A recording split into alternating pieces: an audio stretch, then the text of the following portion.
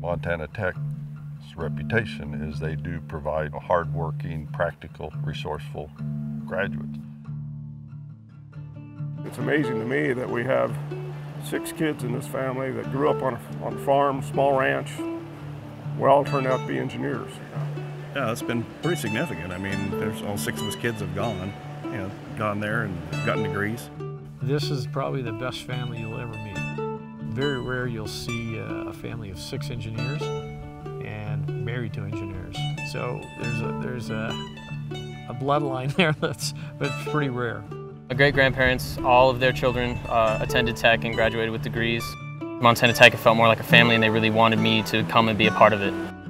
One of the big resources that Tech pulls on as far as kids to come in and go to college is that they do have a lot of rural roots. And uh, so they grew up ranching or farming or working. Montana Tech is a solution. You know, right now, what are we facing in society is, is a lot of technical challenges. It's like, how are we going to manage energy? How are we going to do these things? Well, Montana Tech has graduated 10% of the U.S. trained petroleum engineers in the last decade. So one of the messages we've been trying to get out is how critical what Montana Tech produces is to the responsible management of energy things in the future.